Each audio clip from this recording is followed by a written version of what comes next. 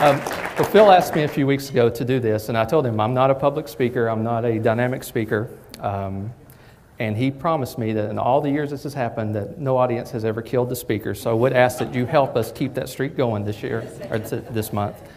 Um, I came from, um, I won't say I'm a Yankee, I came from Kentucky, but still, you know, the southern part of Kentucky, so it's still SEC. Um, we, uh, I moved here in 2011. Uh, my experience was working with a holding company in Kentucky. We were involved in healthcare, banking, and insurance. And I was the CIO for several years, um, for about 19 years, and joined the Palmetto Bank in 2011 as their chief information officer and oversee all of the areas of information technology, deposit operations, and the areas of electronic payments. It has been a very interesting time to uh, not only to join the Palmetto Bank, but just to be involved in banking in general in the last, in the last several years. Has anyone here heard of Dodd Frank? So, Dodd Frank is a bill that passed 2010, um, four to 500 um, regulatory um, objectives that are supposed to be met, set up a lot of new regulatory agencies. They're still writing all the rules to meet all of these objectives. Uh, um, as far as in the, currently in the banking world, it is a every month there's something. It seems like every month there's something coming out new that we're having to meet.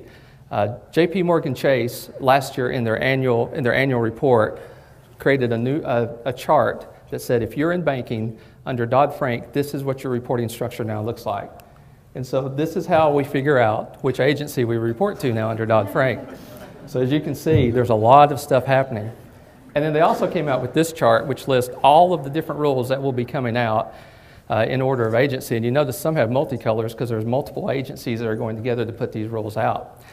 And it, it affects our banking every day, and it affects you as, as clients as well. Um, last year, there was a rule came out that said if you are a consumer, not a business, but if you're a consumer and you send foreign wires, it's not really right that when you send a wire to a foreign country, you don't know exactly what the fee or exchange rate is going to be. So from now on, when you walk into a bank, um, the bank has to provide you detail of exactly all your fees, what the exchange rate is going to be, so you know exactly how much is going to be deposited in that, into that other bank.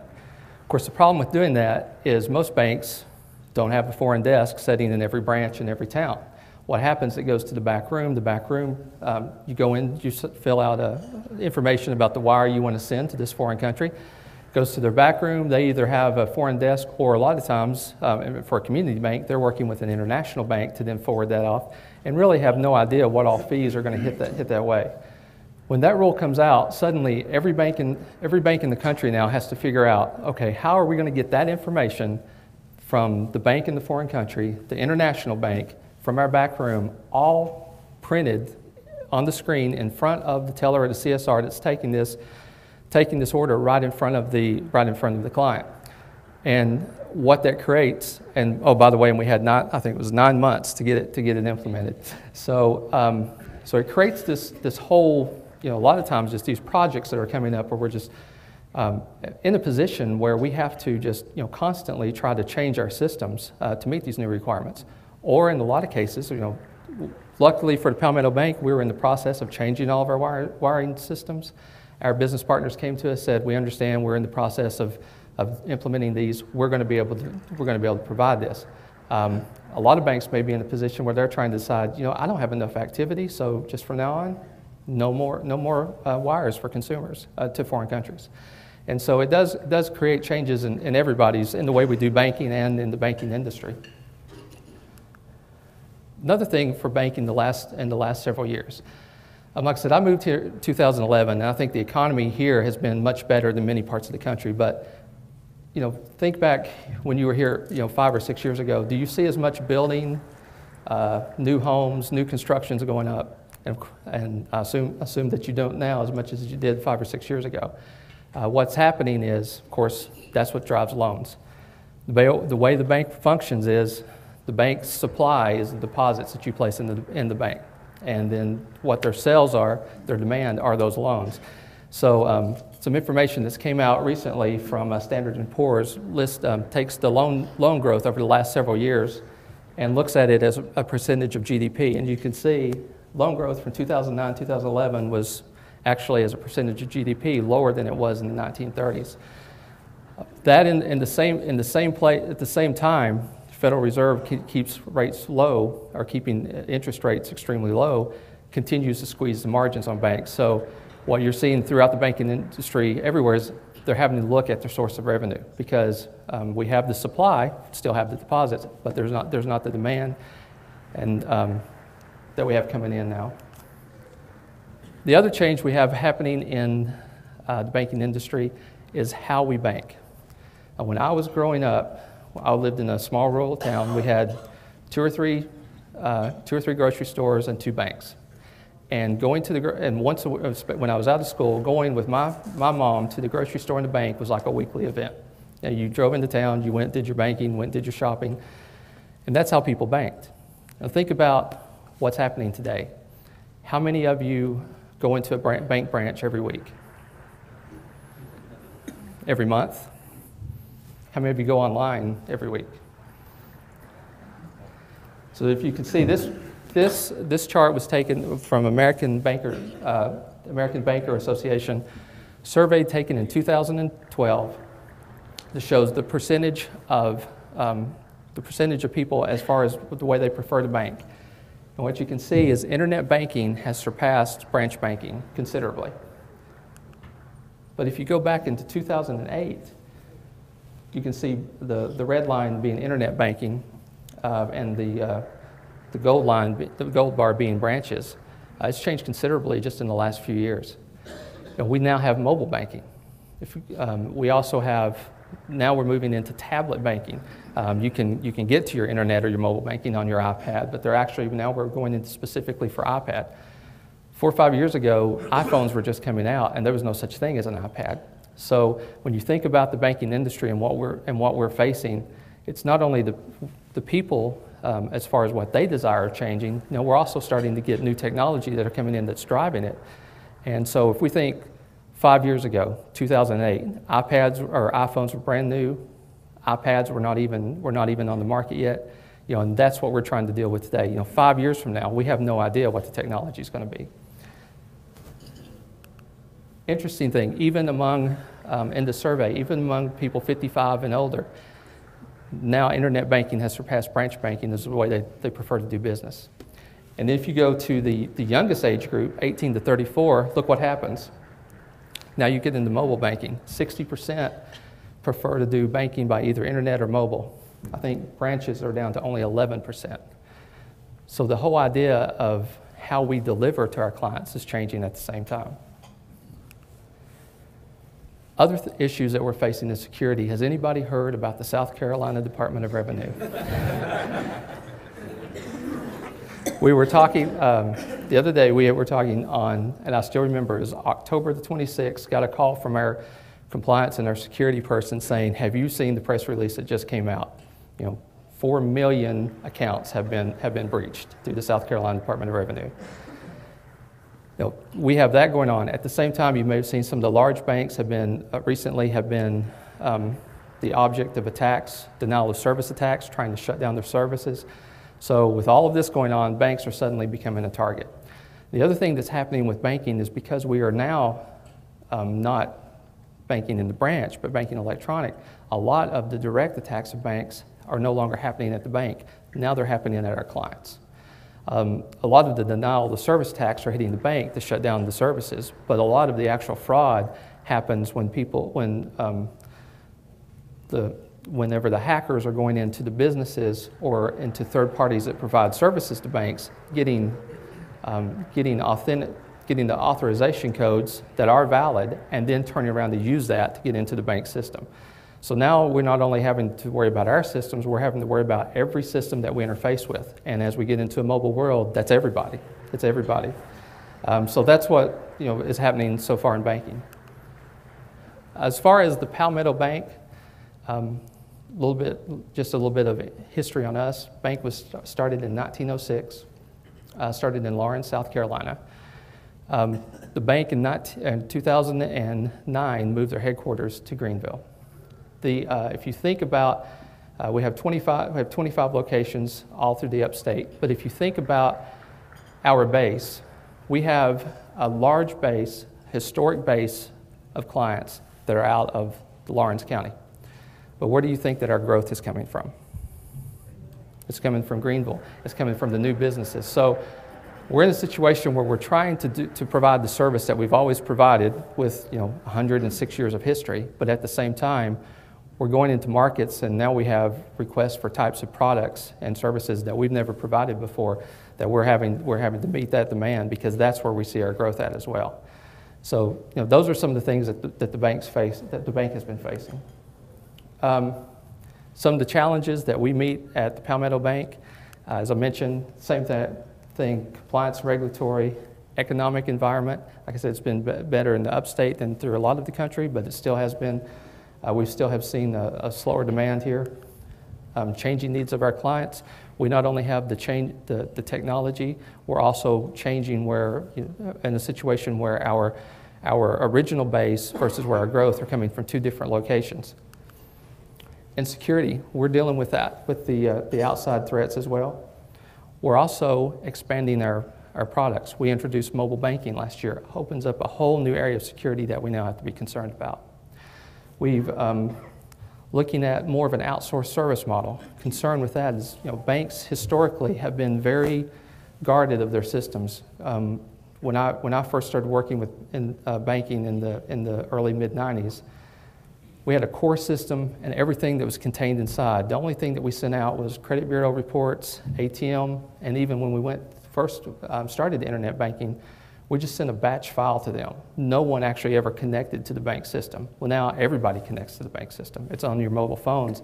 Um, we're, we're having to outsource um, to different um, to different business partners who all and all have real-time access. Um, you know, everybody wants to be able to.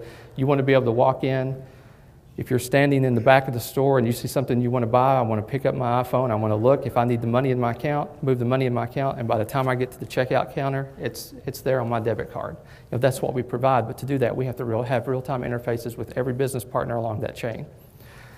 And then the other thing that we deal with is mobility. Not only do we have uh, the mobility and as far as mobile banking of clients, but now we have it for our teammates as well. Um, we're getting, you know, as we start trying to be more efficient ourselves, we're trying to get a lot of the capture of information from the, uh, from the, the loan assistants or the loan officers who are out face to face with the clients. That requires more mobility.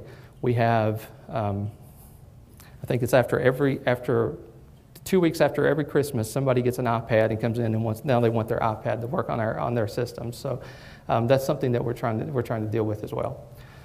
Um, so I wanted to talk a little bit just about what we've been doing to address all these issues. Now, if you're not in banking, um, first thought was, and when Phil asked me to do that, if you're not in banking, I don't, don't know, you know how much of this information you would, you would see as being, uh, uh, as far as how much it would apply to you. But an interesting thing that happened was a few weeks ago when Phil asked me, asked me to do this, we were at a luncheon and he had teamed us up with different people and asked us to interview each other and find out what you're struggling with, in your business. Um, and this was a group of IT leaders. And we had people from healthcare, education, manufacturing, banking. And as we started discussing it, I found out that uh, it was very interesting. The person I was interviewing with was in healthcare. And even though the compliance rules were different, even though the economy, you know, the forces on the economy was different, it was the exact same things that I was dealing with. And then we all wrote down on a chart those top concerns that we had, and we all walked around the room. And it was amazing that even though the circumstances were different, it was the same thing as you went around from, from, uh, from, from uh, chart to chart. It was the same, you know, everybody had the same type of concerns and the same type of issues. So hopefully today, as we, you know, as I go through some of the things that we've done, maybe you'll find you might be struggling with something along the same lines. Maybe able to pass on something that you know we've done that may help you even more. You might hear something we're struggling with that you've already figured out, and you can come and tell me how to do it. So it would be even better. First thing we talked about is compliance and regulatory. When we um, when I came to the Palmetto Bank, one of the concerns that we had was we knew that we had all these compliance rules coming in. Um, the bank also had um, had an infrastructure catch up that we needed to do as well. We, um, looking at the projects that came in, well, I think when I first arrived, there was 120 uh, projects on the list that needed to be accomplished. The main concern is, um, I don't know how, you know, how projects happen in everybody's group, But uh, you know, Palmetto Bank was a small, is a smaller company um, uh, as far as our IT group. We did not, not have an official project management office. Um, we had a technology steering committee. Projects generally are done in a lot of groups by whoever the squeaky wheel, whoever has the top project at the time. So one first thing we did is we reinvented the entire idea of the technology steering committee. Um, each head of a line of business and a support group is on our technology steering committee. We get together at that point, we're getting together monthly. Now we get together quarterly and we go through every project and we put it on them, not the IT department, to prioritize those projects. Um, we have a situation we call red, yellow, and green. Red project means that there's a compliance date coming and it's, it's got to be the top project. Uh, yellow project means that it's a new type of revenue stream, new type of business, and um, there's, you know, it has impact on our revenue, so we want to get that in. And a green project means it's some type of efficiency or cost-cutting measure. measure. And so um, even though as uh, Kendra and our, our, PMO have to go through and, and manage those projects and things, dates are changing, they work with people, we always come together and make sure everybody understands this project's a red project, this project's a yellow project, this project's a green project. Any red is going to bump a yellow at any time. Um, and that has taken a lot of, um, it sounds like very simple, but I'm going to tell you it has taken a lot of pain out of the process. Um, I don't, I think in about a year and a half, I don't remember us ever having a disagreement on whose project should be moved, um, which, which is amazing. You know, from, the, from where I had came and from past I'd heard, you know, that's something that, that was fairly, fairly frequent. The other thing that we did, of course, after we did that, is we had to, we in, um, started a project management office. Um, it's very scaled down. We call it PMO Light you know, there's some basic things that we want to do. We're going to make sure there's a test plan. We're going to make sure there's a, a scope. We're going to make sure that there's, there's a sign off. Um, and we're going to make sure that we're communicating. One of the concerns that came in uh, when I came in, uh, when I came in, one of the concerns I heard is um, we have all these projects out there and nobody knows where their project stands. You know, we're moving things and they don't know. So this sort of forced that communication and also forced that we stayed, that we continued to manage these projects along that, along that priority. Uh, focus on automations and efficiency. This is just something that, I mean, it seems kind of, kind of obvious, but as we're trying to go through all of these types of uh, compliance rules, we're trying to make sure we automate everything that we can. And the interesting thing that we found out is we can't sit in the IT group or we can't sit with the, with the leaders of line of business and really know what's out there. It is unbelievably surprising when you go out and talk to people in the field what some people are doing because they don't know any other way to do it. Uh, we we had an instance where we had opened up the fact of you know, information. We used to take documents, intercompany document. they had to be uh, sent through a courier to the, to the operations center where somebody would have to sit and scan them. Well, we opened up the idea that, okay, these can be emailed now, and we made sure we had secure email. Okay, you can email them. Then what we found out later is the operations group. They didn't have a good way to take it from the email to into the system. So when they got the email, they were printing it out, then going to the scanner, rescanning it, and, put it, and putting it back in the system.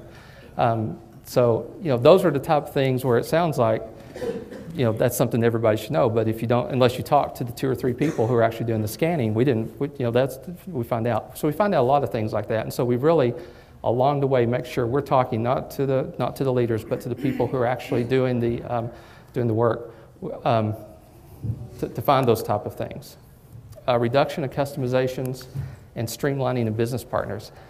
This was a really sore subject um, for, for the IT group when I came into it. Um, one of the concerns that we had in the banking industry, like I said, we have, especially in community banks, we have business partners that provide almost everything that we would ever need. Um, we are paying, um, you know, our major business partner is called Fiserv. Um, and if you're not in banking, I don't know if you are familiar with Fiserv, but they provide all of our core systems and our products. We pay them a lot of money to make sure that those products are up to date. But we also have the ability to make small customizations to that system. The, the history of the bank was instead of waiting on Fiserv, we made customizations to the system. The problem with that is every time there's an update, every time there's a release, now I have to go in, I have to go through that entire update and make sure all of my customizations are moved over. Um, wasn't a big issue before Dodd-Frank when they were getting one update a year, but when Dodd-Frank hit and they were getting three or four updates a year, we had an entire staff who did nothing but just move those customizations. We also find out that we had things that Fiserv would, would change in the system to meet, a, to meet a compliance rule, we would put it into our system, it wouldn't work. And the reason was that we had some customization that was overlaying that. So we started eliminating customizations and still having to go through and you know we had 20 years of customizations that we're going through and trying to work work our way out of and be and be closer to to the base code. Um, the reason that tended to be a sore subject is our IT group was a group of developers, and that's what they wanted to do is they wanted to write code and develop, and so we really um, you know sat down and, and had a change an entire change of culture of the division of the of the team. Um, the other thing that we did is one of the things that, that you know, was concerning was the fact that the IT group really seemed and seemed as though they were separate from the rest of the bank. Um, when, you, when I first met with them and talked to them, they talked about you know, the bank like it was some other, like it was some other company, but we're IT. Um, and so one of the culture changes that we did, we started and, and have been very successful in, is the fact of, you know, we are the bank. You know, the, the IT department has all the responsibilities of everyone else in the bank for the, for the bank to be a great bank. Um, and the idea that, that we pushed was the fact that you know, our goal as the IT department of the Palmetto Bank should never be, our end goal should never be that we're going to be the greatest IT department in the upstate. It should be that we're going to be the greatest bank in the upstate, and we're going to have to do in the IT department whatever that requires. And sometimes that requires of us deciding there's other groups out here that can do this process better than we can do internally. And so we started a whole series of streamlining our business, our business partners and outsourcing. Um, we had uh, um, some of the simple things that we had as far as the streamlining was statements. Well, we had a situation where we had four business partners that were involved in the production of a statement. We had our imaging system from Fiserv, we had our um, ACI uh, system that actually presented the electronic statements. We used a, um, a couple of different uh, mailing, mailing partners for creating the statements, putting it all together, and then another one for distributing the statements and the e-statements.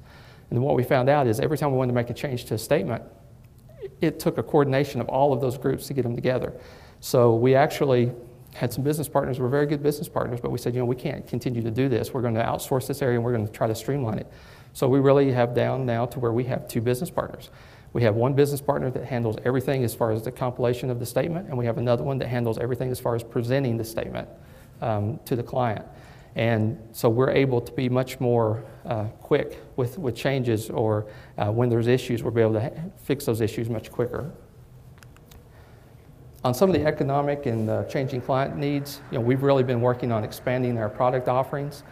Um, this has caused us to have to do a lot of different projects. Um, and th- what I mean by expanding product offerings is moving into, um, like I was telling you earlier, you know, as, as we've looked at loan growth, um, you know, construction loans, some of those loans have not been, um, have not, the, the, growth has not been there as much as it was in previous years. We've been looking at, at additional type of products. Um, we're actually, uh, you know, offering more asset-based lending. We're doing more small business administration lending. And so each, each of these new products we bring in has required us to come in and actually have to add new systems um, because all of these types are, are, specialized. And the only one thing I'll just say about this has been great. This is where our technology steering committee has been uh, very important because when you have when you have a group, uh, you know, a group that comes in and says, "I can make money if I have this new product," you know, so you got to put everything on hold and bring this in first. But I have another group saying, "I have a compliance deadline to meet," or "I have an issue with one of my systems." bringing them together, letting them all come to the, um, to the decision of what, what's going to be prioritized has been, has been wonderful. Um, once again, increased efficiencies through automation. We actually did a project called Project Save. We had, and this is some of the things I was telling you that came out from some of the people doing some of the daily work.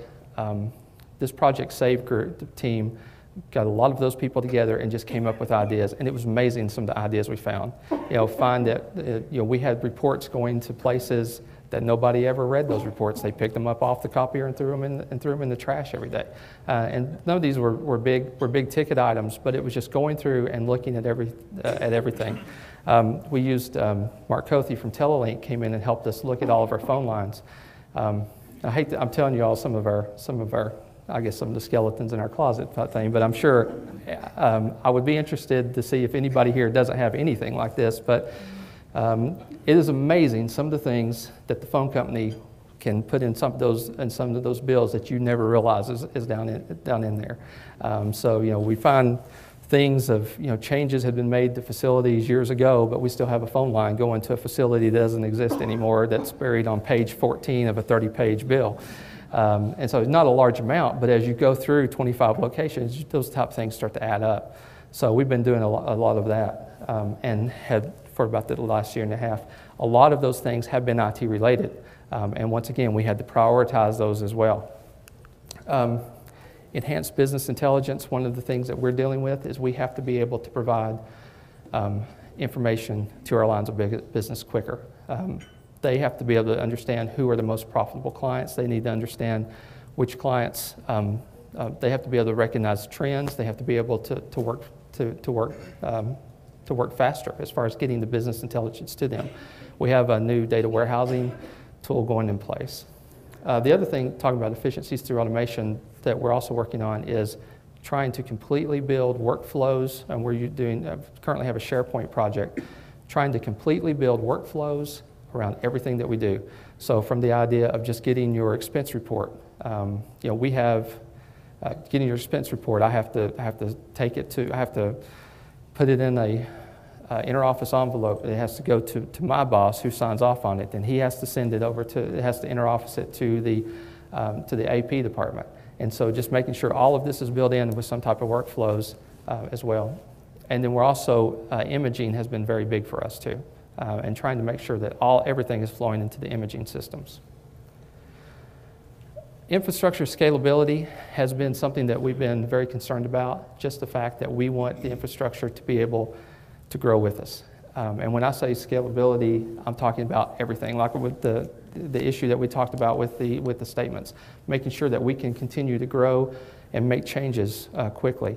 Also, making sure that we have a network in place that we can actually monitor. A lot of our monitoring was done, uh, was done manually.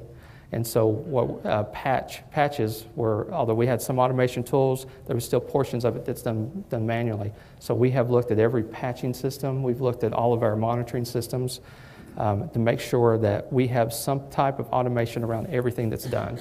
And one thing we do is we have audits or we have new suggestions. We look at um, if anything comes in that we need to do and there's any type of manual process, it goes on a list um, that, we need to, that we need to look at for future automation um, and, and try not to implement it until we can completely automate it.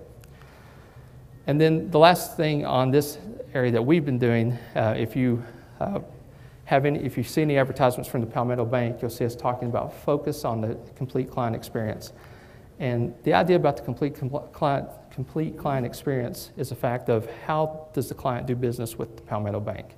Um, if you look at this chart, you think, well, it doesn't make sense to have branches anymore. The actual, if you take all of the overhead of having the branch divided among, among, this is a national chart, so not Palmetto Bank, but just banking in general, divided by about the number of transactions they do, costs about $4 for every transaction. If you go down that list and get to mobile banking, is it like 8 cents per transaction?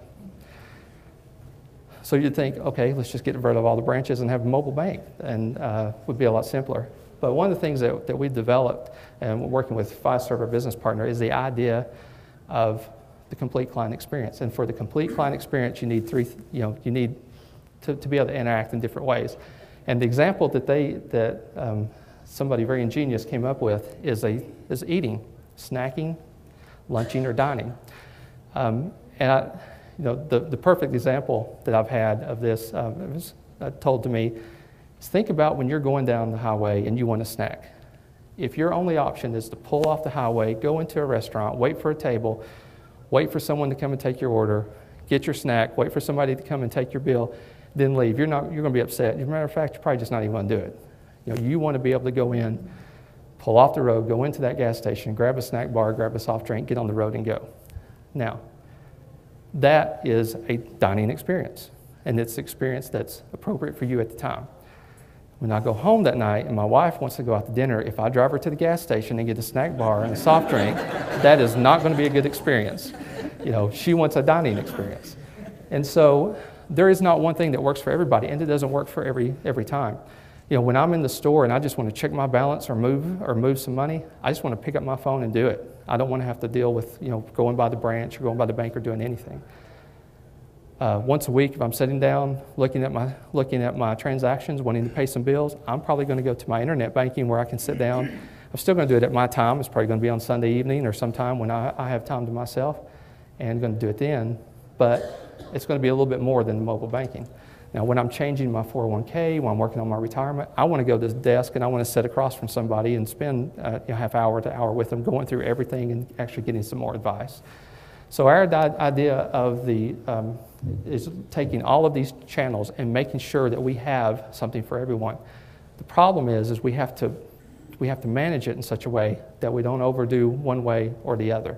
And so when I told you that you know we have a different we have a different base, you know, things change. You know, for for one group of people, we may be having to to have options more than for another.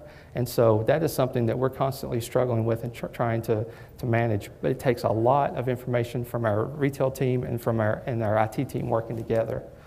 Um, some of the things that you see happening. This is actual picture. This is not like a. This was a, a bank in Kentucky recently opened, so it's a rural area, not a. You know, this isn't a in, uh, some type of of uh, test system. This is an actual branch. If you notice this branch, there's five places for a person to walk up to. Only two have people. Three are all completely self-service.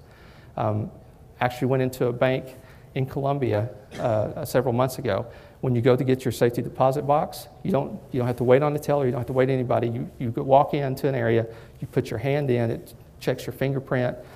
You walk into, you walk in, use your key, and you get to your safety deposit box completely. And as long as the branch is open, is, is unlocked, you can go in and get to your safety deposit box without having to, to wait on someone else. So as you see in the banking industry, you're going to see more and more of this. And so these are things that we're looking at now. And so and one of the challenges we have is we have to make sure that we have not only all of this infrastructure ready, everything else ready, we've got to have the security around it all as well. Um, just to let you know on some of the security, security is something that we're working on right now. We've um, we have moved our security. We don't consider it IT security. We consider it enterprise security um, because it, it, it's only a part of everything that we do at the bank you know, in my area, I'm, I'm working with IT, I'm also working with electronic payments, and I'm also working with, um, with, with deposit operations. So we get all of those groups together and we look at everything across the board because there are, there are areas involved in each that have some type of, uh, you know, they have to do some type of uh, handling of security. So for instance, um, mobile banking you know, we can lock down a mobile, we can lock down an internet banking site so well that nobody can break in, and even use a client could never get into it if you if, if you wanted to. Um, so on the IT side, we we're we're trying to figure out how how we're going to be able for it to be easy to use, but at the same time going to be safe. Well, the way we're going to do it is we're going to put in a lot of safety standards, but then on the electronic payment side, we're going to put in anomaly testing. So we have a system that just went in the last week, looks at things that are going in, that how you are performing transactions on your online banking. If you always, if you have a business account with us and you're always going in during the week, during lunchtime, and doing your transactions, and then suddenly we noticed that you logged in from Romania on a Sunday night and started, you know, adding new bill pay clients, there's probably an issue with that with that transaction. So we would have all, we now have these flags that go off so we can contact to, to let you know something's going on to your account that looks a little bit su- suspicious. Uh, resiliency of the network, we've actually been working with Charter um, to start integrating our network. We have, of course, MPLS network that um, connects all of our connects all of our banks, but we're also now working with Charter because we want to be able to have additional bandwidth and also resiliency that if we have you know issue with one provider, we have another provider that can step in.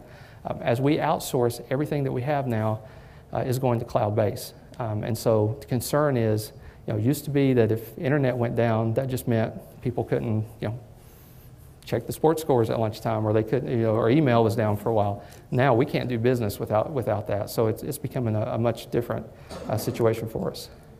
In removing product silos. Um, you know, one of the issues that we had uh, about this about the security is looking at every different product and setting up security around it, but it's really en- en- encompassing. Like um, mobile banking, internet banking, bill pay, all of that goes together. Um, the uh, merchant capture, if you're able to, to capture checks at your location, you know, we, we actually broke down the security between them and look at a more holistic picture of security to make sure we cover all of those products. And then um, expansion of automated monitoring and control I mentioned earlier. We're, um, you know, we've been working with some different groups to make sure that any of our intrusion detection, uh, any of our monitoring, all of that is completely automated. And in a lot of cases, we've, we've started outsourcing more of that. And then the other thing that we've done um, as far as incident response is just making sure that we, we know what's going on. The South Carolina Department of Revenue, um, with, that, with that breach, um, we worked with the state, uh, with the state, with the South Carolina Bankers Association, who's been great to give us information. Um, but the main thing that we've made sure is that we we have to do a lot of awareness with our group of, you know, all of, these, all of this information is out there now. So you have to be aware of what is considered a red flag if you see something come through that's suspicious. And so we're really handling that not as an IT function, but more as a, as a teammate training function. And then BYOD, um, I know something that, that several people are probably talking about, but it's something that we're unable to, uh, to, to, fight. I went to a, was at a banking uh, seminar, and one of the people made the comment of banks have always said, we control everything, our people are not going to have control of, of our information, we're going to lock it down. And the comment was made to us, if you think you're going to stop iPhones and iPads, you're crazy. I mean, it's, it's, it's there now, and it's only going to continue. And you know, our teammates are frustrated the fact that I can do all this at home, but then when I get to the, when I get to the bank, I can't even get on YouTube. I can't get, I can't get anything. Um, and so uh, one of the things that we're looking at is a complete BYOD program, and I know probably a lot of you are as well. So that's all I had. Um, don't know if it's been any helpful to you. Like I said, probably just more information of what we're dealing with. And so if you have any, anything that you are dealing with the same type of issues, I know Phil just uh, had said at one point he just wanted to pe- get people together to talk about what their struggles are, what their issues are, and, and start introducing people to each other. So, would love to hear from any of you if you have, uh, if you have the same type of issues, if you have um, solutions for us as well. Thanks.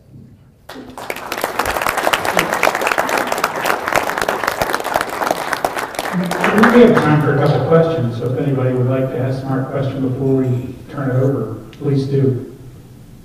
I've got one if you, if no one else does. Let me, let me get this started a little bit, and we'll take it to the audience. Mark, you said one of the things you did was a uh, telecom audit. And I'm, just, for me, it's just kind of a curiosity, because I used to do a lot of that when I was a CIO.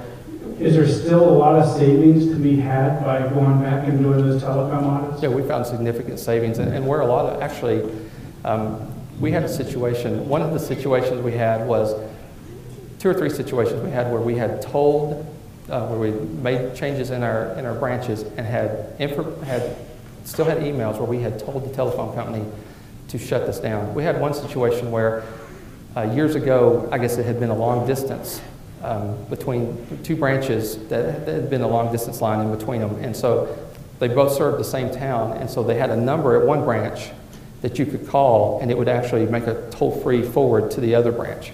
Well, at some point, a few years ago, the, the bank had consolidated those branches.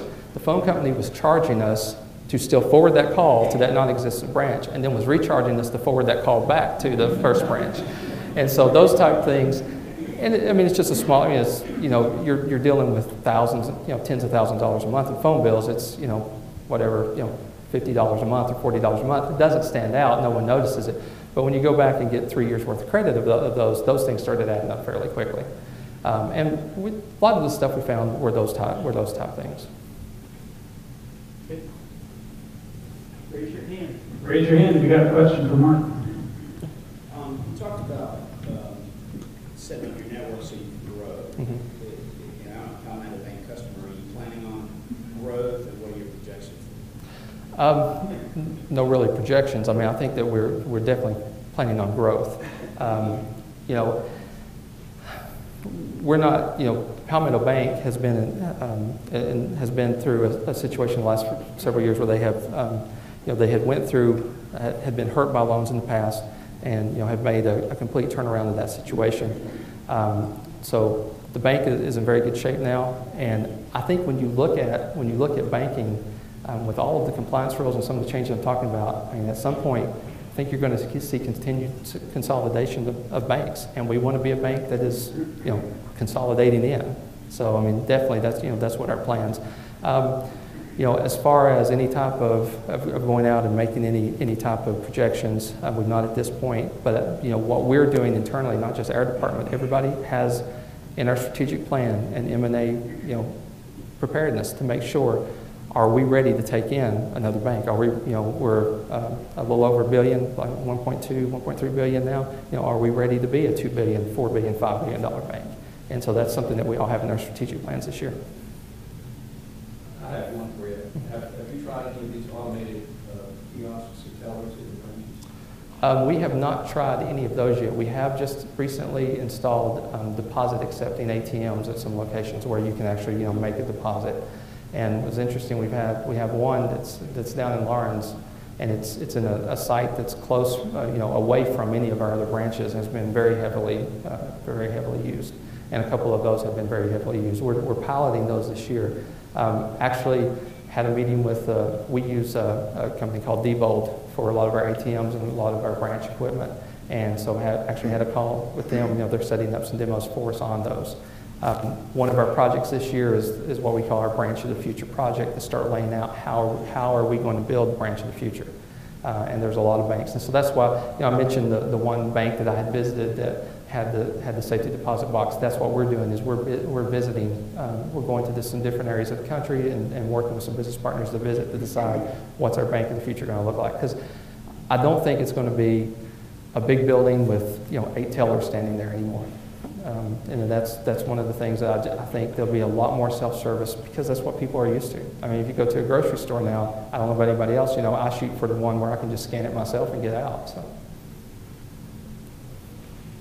I think a round applause for Mark Terry.